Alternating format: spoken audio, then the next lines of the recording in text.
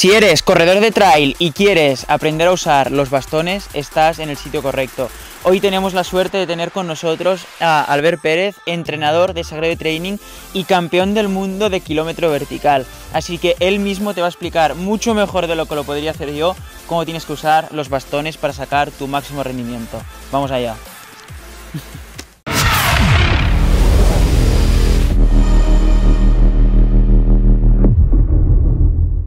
Antes que nada, lo fundamental es escoger un bastón que sea de tu talla. Para ello, tendremos que coger el bastón por la empuñadura y ver que el codo nos haga un ángulo de 90 grados. Si vamos a utilizar el bastón para kilómetros verticales, por ejemplo, que necesitamos más pendiente, podemos usar un bastón que sea un pelín más largo, ya que vamos a tener que empujar más. Si vamos a usarlo para unas carreras más largas o más correderas, podemos usar un bastón un poco más corto que nos ayude mejor para correr. Por ejemplo, yo que mido 1,77, uso un bastón de 1,30 o podría usar hasta 1,25 para carreras más correderas y para kilómetros verticales me gusta llevar hasta 1,35 ya que en invierno hago esquí de montaña y estoy acostumbrado a usar bien los bastones. Pasamos a la técnica de bastoneo. Lo primero, ¿dónde clavamos el bastón? Si lo clavamos muy adelante, no podremos realizar fuerza hasta que no hayamos pasado delante. Si lo clavamos muy atrás, haremos fuerza poco rato. Entonces lo suyo es clavarlo a la altura de donde tenemos el centro de gravedad, más o menos donde está entre el pie y el talón. Es muy importante aprovechar todo el recorrido del brazo a la hora del bastoneo. Lo impulsamos hasta que lo tenemos atrás y ahí dejamos y lo recuperamos hasta volver a plantarlo donde teníamos el pie. Un error típico es quedarnos con el bastón hasta aquí y aquí a recuperarlo e ir así. Lo suyo es estirar bien hasta atrás y luego recuperarlo.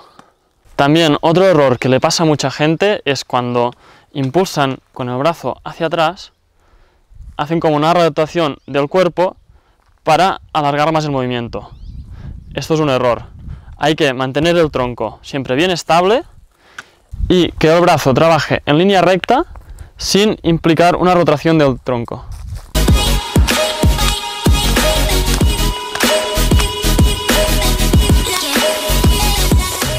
Tenemos tres estilos diferentes de usar los bastones. Los tres estilos los puedes usar ya sea andando o corriendo. El primero, cuando hay mucha pendiente, lo suyo es ir en simultáneo. Eso significa ir con los dos bastones a la vez. El segundo estilo es el alterno, donde iremos alternando un brazo con el otro con cada pierna contraria. Este estilo lo usaremos cuando la pendiente sea media. Y el tercer estilo es el asimétrico, que viene a ser una mezcla entre el simultáneo y el alterno. Este estilo lo usaremos en una pendiente media de más o menos un 20%.